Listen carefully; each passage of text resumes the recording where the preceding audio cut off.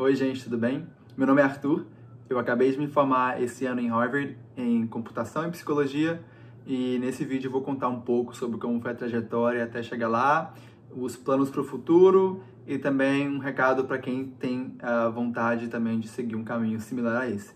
Bom, eu nasci e cresci no interior de Minas Gerais, numa cidade chamada Paracatu, tem ali 100 mil habitantes, e vivi lá até mudar para os Estados Unidos para fazer faculdade em Harvard, com bolsa total ah, por necessidade financeira.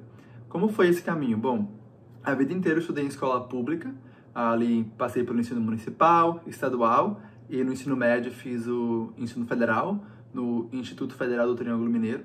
E por grande parte da minha vida eu nunca nem pensei, para falar a verdade, em fazer faculdade, nem no, Brasil, muito menos no, nos Estados Unidos.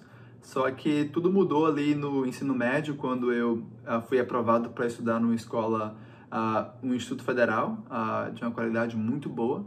E foi aí que eu comecei a perceber que essa possibilidade existia de fazer faculdade, que era também para mim.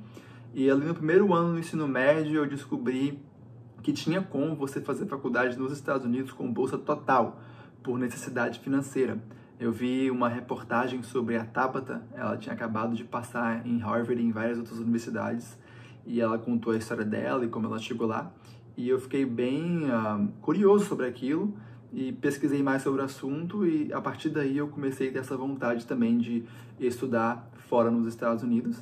E durante o ensino médio, então eu fiz várias coisas para conseguir chegar lá incluindo aprender inglês e me dedicando bastante na sala de aula para tirar boas notas, que é uma coisa que também conta no processo de aplicação para a universidade nos Estados Unidos.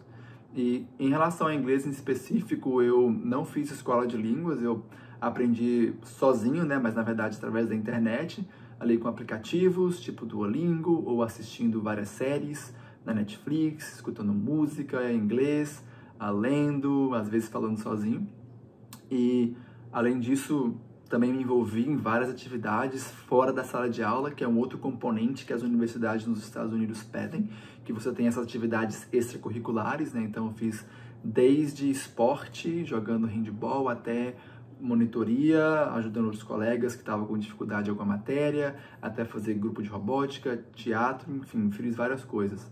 E ali, logo que eu me formei no ensino médio, também participei de um programa chamado Jovens Embaixadores, que é um programa da Embaixada dos Estados Unidos no Brasil, que leva anualmente 50 jovens do Brasil para os Estados Unidos por três semanas com tudo pago, a jovens de ensino público, e eu a, me candidatei a esse programa, fiz e vim para os Estados Unidos pela primeira vez, e me encantei com o país, assim, e com a possibilidade de estudar aqui, e aí que eu realmente decidi que eu queria muito isso, e voltei para o Brasil, me formei em 2014, no final do ano, e 2015 inteiro eu tirei para fazer esse processo de application que a gente fala, né, o processo de candidatura para o vestibular americano.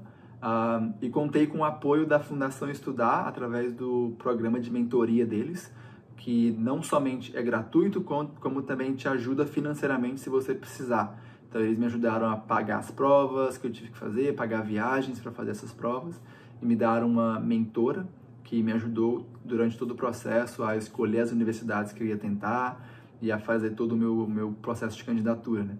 E fui aceito em Harvard e Stanford no final desse processo e outras cinco universidades aqui nos Estados Unidos com bolsa total. Acabei escolhendo vir para Harvard, onde eu passei seis anos ali, o processo todo, né? Um, fazendo computação e psicologia e também francês. Ah, foi uma experiência muito legal, muito bacana. Conheci várias pessoas de todos os cantos do mundo, literalmente. Uh, gente de todos os continentes, de todas as, as classes, cores, religiões. Foi uma experiência realmente transformadora. E além disso, aprendi bastante também, foi muito intenso. É uma universidade com certeza difícil, intensa, mas no final tudo valeu muito a pena. E agora me formei uh, e vou continuar aqui nos Estados Unidos trabalhando como engenheiro de software, né, uh, para uma startup de tecnologia. E meus planos aí de longo prazo incluem uh, fundar minha própria empresa, seja no Brasil, seja nos Estados Unidos, uh, e trabalhar como um empreendedor e impactar a vida, a vida das pessoas de alguma maneira. Um, e para pessoas que queiram trilhar um caminho similar a esse, de estudar em uma universidade nos Estados Unidos, a minha dica principal é seguir é uma página que eu tenho no Instagram, chama faculdade.nos.eua, onde eu divulgo conteúdo 100% gratuito sobre todos os passos que você tem que seguir para fazer o processo de candidatura em universidades americanas, que é uma coisa que as pessoas sempre me perguntam, tá, mas como que eu faço para chegar lá também? Como que é o processo? O que eu tenho que fazer? E lá eu explico tudo isso. Essa seria a minha dica principal. E no mais, muito obrigado e boa sorte para todo mundo que tenha vontade de estudar fora também ou a vontade de estudar em uma faculdade no Brasil. É isso. Tchau, tchau.